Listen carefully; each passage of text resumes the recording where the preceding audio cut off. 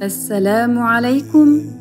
Les enfants, connaissez-vous le prophète Isa, Jésus? Comme tous les prophètes, Isa était musulman.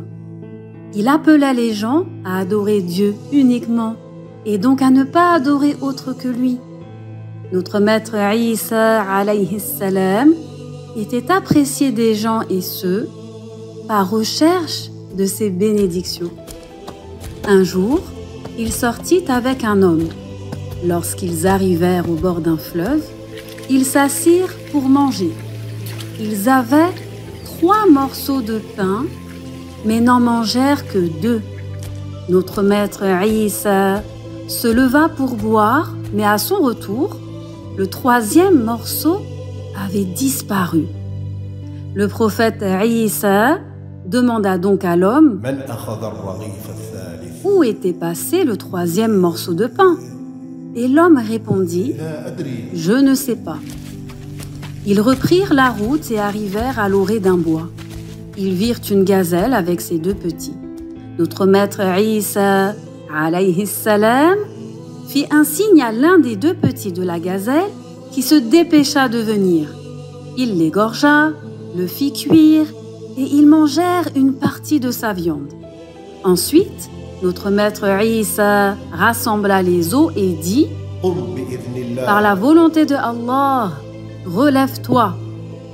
Le petit de la gazelle qui avait été égorgé se releva avec son corps d'origine et revint vers sa mère. Ceci, les enfants, est un miracle de notre maître Isa alayhi salam. Subhanallah. Notre maître Isa se retourna vers l'homme et lui dit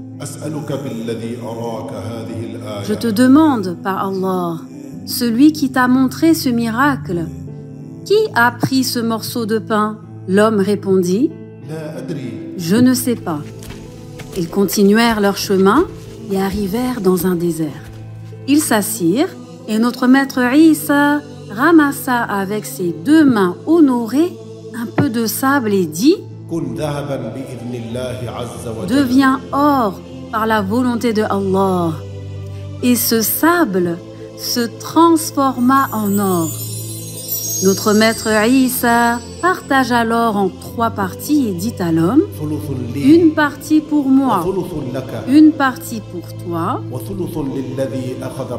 et la troisième partie pour celui qui a pris le morceau de pain. Les yeux de l'homme brillèrent, il était content, et il dit C'est moi qui ai pris le morceau de pain. Cela signifie, les enfants, que quand l'homme disait Je ne sais pas, en répondant à notre maître Isa les premières fois, il ne disait pas la vérité. Notre maître Isa lui dit Prends tout l'or c'est pour toi. Alors que l'homme était heureux pour ce qu'il avait, notre maître Isa le quitta. Quelques instants plus tard, deux voleurs vinrent et voulurent le tuer pour lui voler l'or qu'il avait. L'homme leur dit Pourquoi voulez-vous me tuer? Nous pourrions nous partager l'or. Ils acceptèrent cela, puis l'un d'entre eux partit au village pour ramener de la nourriture. Sur son chemin, il se dit Pourquoi partagerais-je cet argent avec les deux? Le shaytan, le diable, lui suggéra de faire du mal aux deux autres hommes. Quand l'homme acheta la nourriture, il mit dedans du poison, de sorte que ses deux compagnons meurent en mangeant la nourriture. Ainsi l'or reviendrait à lui seul. Au même moment, les deux autres s'étaient mis d'accord pour le tuer dès son retour afin qu'ils se partagent ses torts. Tous les trois avaient donc décidé de faire quelque chose de très grave, par cupidité, pour avoir plus d'or. Quand l'homme qui était parti chercher la nourriture revint, les deux autres le tuèrent. Il se retrouva par terre, mort, et les deux autres s'apprêtèrent à manger. Et vous vous rappelez, les enfants, ce qui avait été mis dans la nourriture? Du poison. Dès qu'ils mangèrent de la nourriture empoisonnée, ils périrent. Ainsi, trois morts étaient allongés au sol et l'or demeura. il n'y avait plus personne pour prendre cet or. Plus tard, notre maître Isa salam passa avec un groupe de ses compagnons honorables devant les trois morts. Il savait ce qui s'était passé.